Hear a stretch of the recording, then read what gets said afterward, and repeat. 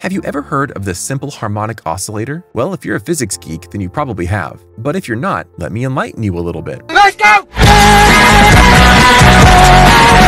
A harmonic oscillator is a classic example of what is known as perpetual motion. What I mean by that is that it keeps moving back and forth at the same speed forever.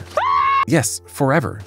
So, why am I telling you this? Because we're about to talk about a phase of matter that perpetuates forever quantum time crystals. Sounds like something out of a Marvel movie, right? Something Doctor Strange uses to manipulate time, perhaps? Despite sounding like something straight out of Doctor Strange's third eye, time crystals actually do exist. Not in nature, of course, but they have been around in physics labs for almost a decade now. So, what on earth are these quantum time crystals that I'm going on and on about? Time crystals were proposed by the American theoretical physicist Frank Wilczek, a Nobel laureate in 2004. It came out of teaching, actually. I was teaching a course on symmetry in physics. So, he was teaching about crystals, a structure in nature where atoms are organized in a repetitive and orderly fashion. And from here, Wilczek began to think about whether a crystal could have a higher dimension, like 4 or 5D. Just like our 3D crystals repeat themselves in space, quantum time crystals repeat themselves in time. Mind boggled? Let's consider a thought experiment. That's a great idea.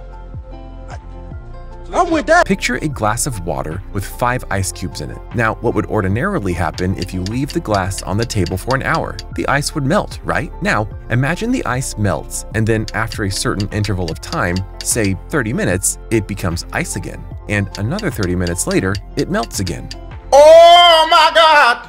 So this melting, freezing cycle that I made you picture right here is how a time crystal works in time in very simple terms. From this example, you probably see how a time crystal would defy the laws of physics by staying in the prohibited perpetual motion state. It also defies any laws of entropy since no energy is being absorbed or released whatsoever. Now, let's dive into a more sci-fi aspect of these good-for-nothing seeming time crystals. Scientists believe that quantum time crystals might as well be the future of quantum computing technology. Too much of the word quantum? Let's break it down.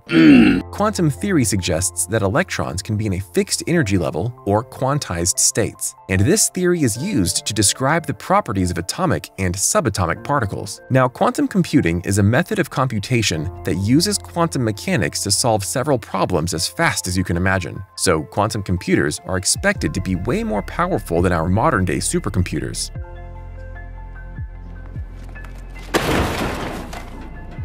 They used states called qubits, much like the ones and zeros in the average computer. Physicists believe that the state of these qubits can be manipulated using time crystals, such that they keep perpetuating without losing power or energy. And if successful, this could even be used to power our smartphones in the future. So hang on tight, the future of quantum time crystals indeed is bright.